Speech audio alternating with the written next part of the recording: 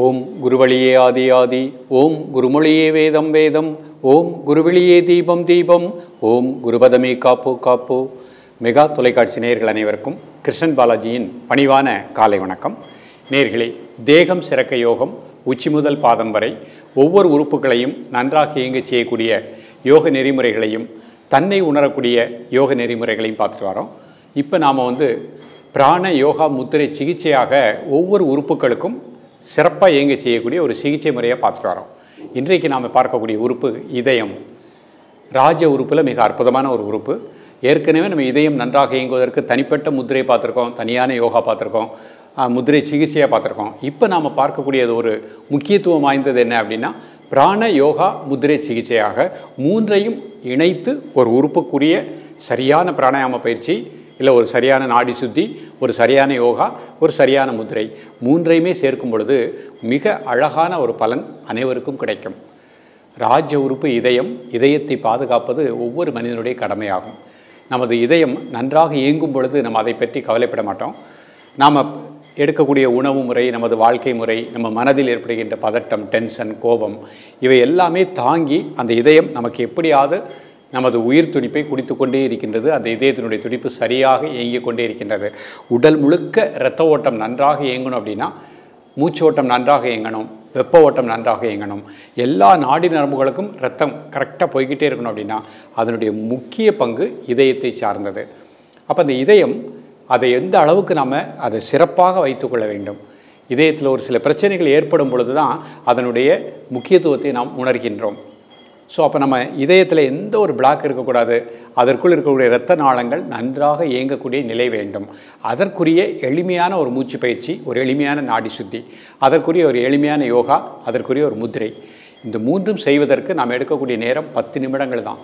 இந்த பத்து நிமிடத்தில் நமது ராஜ உறுப்பான இதயத்தை சிறப்பாக நாம் செயல்பட செய்ய முடியும். மனிதனுடைய ஆயுள் காலம் நூற்றி இருபது வயது வரை நமது இதயத்தினுடைய துடிப்பு சரியாக சீராக இருக்கணும்.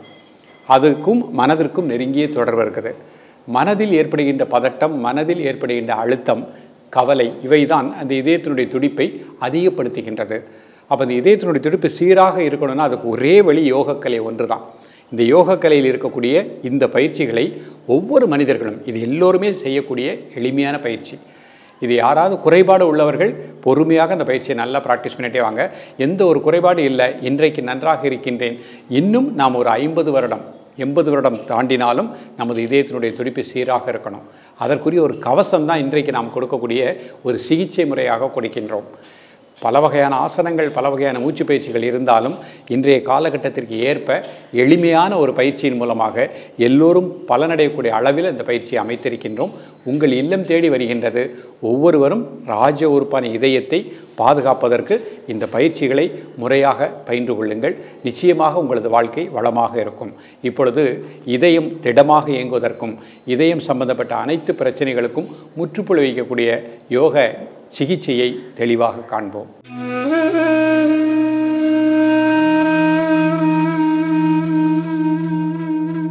நேர்களை இதயம் பாதுகாக்கக்கூடிய முதல் பயிற்சியாக நம்ம வந்து முழுமையான ஒரு நாடி சுற்றி பார்க்க போகிறோம் இந்த பயிற்சி செய்வதற்கு முன்பாக இவ்வாறு நிமிர்ந்து உட்கார்ந்துக்கணும்.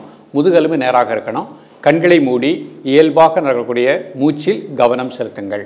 ஒரு பத்து வினாடிகள். இப்போ பொறுமையாக இடதுகை சின்முத்திரை வச்சுக்கோங்க. கண்ணை ஓப்பன் பண்ணிக்கோங்க. வலது கைனால் வலது நாசியை ரைட் நாசியில் க்ளோஸ் பண்ணிக்கோங்க. லெஃப்டில் மூச்சை மெதுவாக உள்ளழுங்க இடது நாசியில். க்ளோஸ் பண்ணிக்கோங்க. அடுத்த நாசியில் வலது நாசியில் மெதுவாக மூச்சு வெளியே விடுங்க. அதே நாசியில் மூச்சை உள்ளெழுத்துருங்க. க்ளோஸ் பண்ணிக்கோங்க. அடுத்த நாசியில் மூச்சு வெளியே விடுங்க. அப்படி அதிலே மூச்சை உள்ளெழுத்துருங்க. க்ளோஸ் பண்ணிக்கோங்க. வலது நாசியில் மூச்சை மெதுவாக வெளியே விடுங்க. இப்போ வலதுலேயே மூச்சை உள்ளெடுத்துருங்க க்ளோஸ் பண்ணிக்கோங்க. இடத்துல மூச்சை மெதுவாக வெளியே விடுங்க. ரிலாக்ஸ் பண்ணிக்கோங்க. இது ஒரு சுற்று அப்படிங்கிறது இடதில் மூச்சை உள்ளழுத்தம் வலதில் மூச்சு வெளியிட்டோம் வலதில் மூச்சை உள்ளெடுத்து மீண்டும் இடதில் மூச்சு வெளியிட்டோம் இது ஒரு சுற்று. இந்த மாதிரி ஐந்து சுற்று இல்லை பத்து சுற்று ப்ராக்டிஸ் பண்ணிக்கணும். மீண்டும் ஒரு முறை ப்ராக்டிஸ் பண்ணுறாங்க இடதுகை சின்முத்திரை வலது நாசியை க்ளோஸ் பண்ணிக்கோங்க. ரைட் நாசில் க்ளோஸ் பண்ணிக்கோங்க.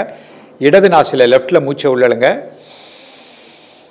க்ளோஸ் பண்ணிக்கோங்க. வலது நாசியில் மெதுவாக ப்ரீத் அவுட் பண்ணுங்கள் அப்படி வலது நாசில் மெதுவாக மூச்சை உள்ளலுங்க க்ளோஸ் பண்ணிக்கோங்க. இடதுல மெதுவாக மூச்சு விளையாடுங்க அப்படி இடத்துல மூச்சை உள்ளழுத்துருங்க. க்ளோஸ் பண்ணிக்கோங்க. வலதில் மூச்சு விளையாடுங்க மெதுவாக அப்படி வலதில் மூச்சை உள்ளழுங்க. இடத்துல மெதுவாக மூச்சு விளையாடுங்க ரிலாக்ஸ் பண்ணிக்கோங்க.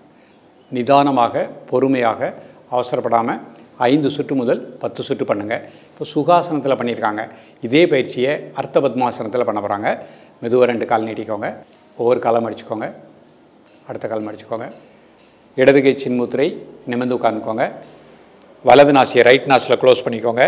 இடது நாசியில் மூச்சை மெதுவாக உள்ளழுங்க. க்ளோஸ் பண்ணிக்கோங்க. வலது நாசியில் மூச்சை மெது மெதுவாக வெளியே விடுங்க. இப்போ வலதுலேயே மூச்சை உள்ளழுங்க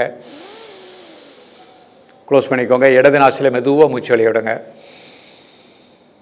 அப்படியே இடத்துல மூச்சை உள்ளழுங்க க்ளோஸ் பண்ணிக்கோங்க. வலதில் மெதுவாக மூச்சு வெளியிடுங்க அப்படி வலதில் மூச்சை உள்ளழுங்க க்ளோஸ் பண்ணிக்கோங்க. இடத்துல மெதுவாக மூச்சு வெளியிடுங்க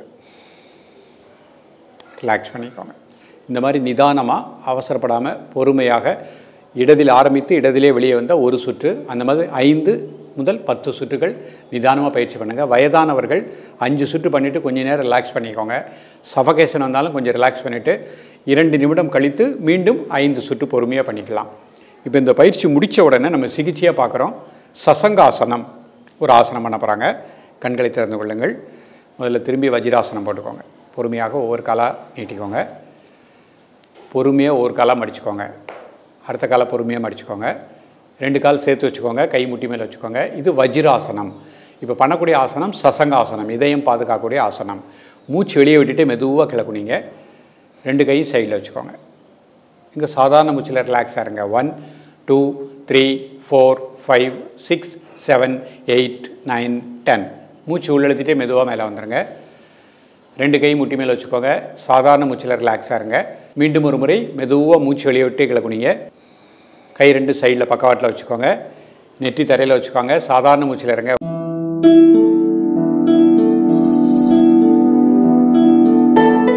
மூச்சு உள்ளெடுத்துட்டே பொறுமையாக மேலே வந்துடுங்க ரெண்டு கைகளையும் முட்டி மேலே வச்சுக்கோங்க. சாதாரண மூச்சில் ரிலாக்ஸாக இருங்க. இப்போ பொறுமையாக அப்படி திரும்பி சுகாசனத்தில் அமர்ந்துக்கோங்க. நிதானமாக இப்போ நம்ம சிகிச்சையை பார்த்துட்டு வரோம். இது பை செய்து முடித்த உடனேயே ஒரு முத்திரை பண்ண போகிறோம் அபான வாயு முத்திரை. இதை இதே முத்திரைன்னு சொல்லுவோம். ரெண்டு கைகளையும் இந்த மாதிரி வச்சுக்கோங்க. முதல்ல அபான முத்திரை நடுவரல் மோதர் விரல் என்னோட மையத்தில் பெருவிரல். இப்போ ஆள்காட்டி விரலில் உள்ளே மடித்து வச்சுக்கோங்க. சுண்டு விரல் மட்டும் தரையை நோக்கி இருக்கணும். இது அபான வாயு முத்திரை. இதயம் இருதய முத்திரைன்னு இதற்கு ஒரு பேர் உண்டு. இதயம் மிகச் சிறப்பாக இயங்குவதற்கும் அதில் இருக்கக்கூடிய பிளாக் எந்த ஒரு பிரச்சனை இல்லாமல் நல்ல ஒரு சக்தி ஓட்டம் பெற்று இயங்குவதற்கு இந்த முத்திரை பயன்படுகின்றது. சாதாரண மூச்சில் ரிலாக்ஸாக இருங்க. அந்த விரல் நுனியில் ஒரு சின்ன அழுத்தம் கொடுத்துருக்கோம். அதை அப்படி கூர்ந்து கவனியுங்கள். ஒரு மனம் இயல்பாக நடக்கக்கூடிய மூச்சில் கவனம் செலுத்துங்கள். மூச்சு உள்ளே போகிறது மூச்சு வெளியே வர்றது. அதிலே அப்படி கவனம் செலுத்துங்க.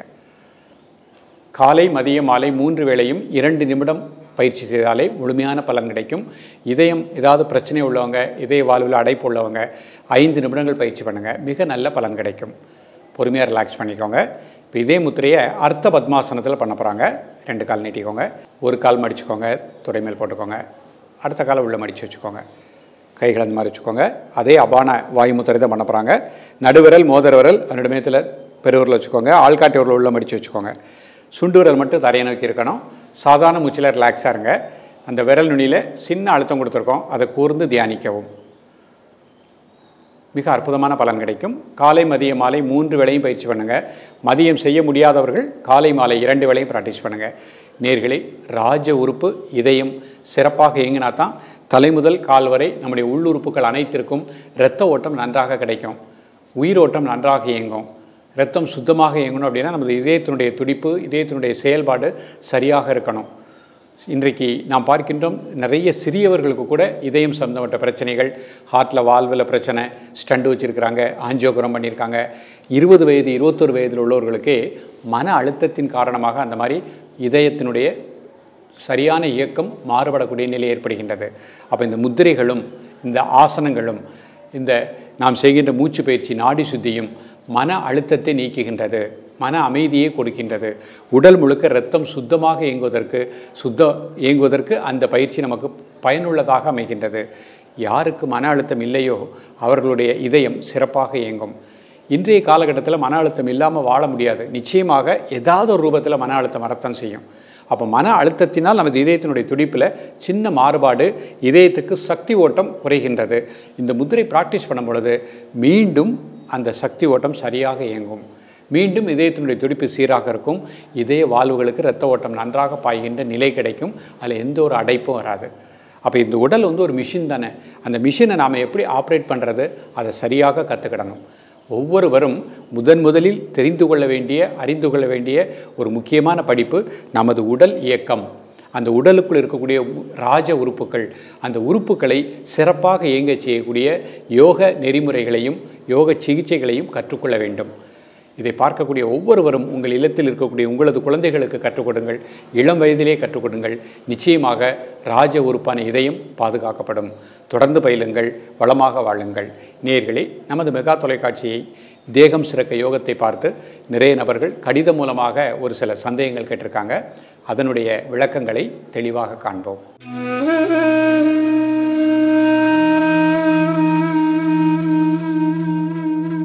திரு பி. கிருஷ்ணமூர்த்தி குரோம்பேட்டிலேருந்து ஒரு கேள்வி கேட்டிருக்காங்க. நடைப்பயிற்சி செய்கின்ற பொழுது முத்திரைகள் செய்யலாமா அப்படின்னு ஒரு கேள்வி கேட்டிருக்காங்க. அதே மாதிரி கண் பார்வை அதிகரிக்க என்ன பயிற்சி? ஞாபக சக்தி அதிகரிக்க என்ன பயிற்சி? ஒரு நோயிற்கு ஒன்றிற்கு மேல் உள்ள முத்திரைகள் செய்யலாமா? இப்போ ஒன்றொன்றாக பார்ப்போம். பொதுவாகவே யோக நெறிப்படி யோக சாஸ்திரப்படி முதிரைகள் செய்யும் பொழுது உடல் ஆடாமல் அசையாமல் இருக்கணும். அதனால தான் நம்ம ஒவ்வொரு முறை சொல்லும் பொழுதும் ஒரு இடத்தில் அமர்ந்து உடல் ஆடாமல் அசையாமல் இருக்கும் பொழுது அந்த முத்திரை இரண்டு நிமிடம் பயிற்சி பண்ணாலே போகிறோம் அதனால் நடைப்பயிற்சியின் பொழுது நமது அங்கங்கள்லாம் நடக்கும். அங்கங்கள் அசைவுகள் இருக்கும். அசைவுகள் இருக்கும் பொழுது அசைவற்ற அந்த பலன் நமக்கு முழுமையாக கிடைக்காது. ஆகையினால முதிரைகளை ஓரிடத்தில் அமர்ந்தே பயிற்சி பண்ணுங்கள் அதான் யோக நெறிப்படி நமக்கு நல்ல பலன் கிடைக்கும். ஞாபக சக்திக்கு கேட்டிருக்காங்க. ஞாபக சக்தி பொறுத்த மட்டுக்கும் காகினி முத்திரை இந்த மாதிரி எல்லா கைவிரல்களையும் சேர்த்துக்கோங்க. இதில் ஒரு இரண்டு நிமிடம் முதல் ஐந்து நிமிடம். நேரம் கிடைக்கும் பொழுது நாற்காலியில் அமர்ந்து நிமிர்ந்து உட்கார்ந்து பயிற்சி பண்ணுங்கள் மிக நல்ல மெமரி பவர் இன்க்ரீஸ் ஆகக்கூடிய நிலை கிடைக்கும். அதேபோல் கண் பார்வை அதிகரிக்கிறதுக்கு நம்ம ஏற்கனவே நம்ம மெகா தொலைக்காட்சியில் சொல்லியிருக்கோம். பிராணமுத்திரை மோதிர விரல் சுண்டு விரல் அதனுடைய மையத்தில் பெருவரல் வச்சுக்கோங்க. பிராணமுத்திரை இந்த முதிரையை இரண்டு நிமிடம் காலை மதியம் மாலை மூன்று வேளையும் ப்ராக்டிஸ் பண்ணுங்கள் மிக நல்ல பலன் கிடைக்கும். அதேபோல் ஒரு நோய்க்கு ஒன்றிற்கு மேல் முதிரைகள் நம்ம முத்திரை சிகிச்சையாகவே கொடுக்குறோம். தாராளமாக பண்ணலாம். இப்போ நீரழிவு உள்ளவங்கன்னா ஒரு சின்முத்திரை ஒரு வரண முத்திரை. அது மாதிரி ஒரு நோய்க்கு மூன்று முத்திரைகள் தாராளமாக பயிற்சி பண்ணலாம்.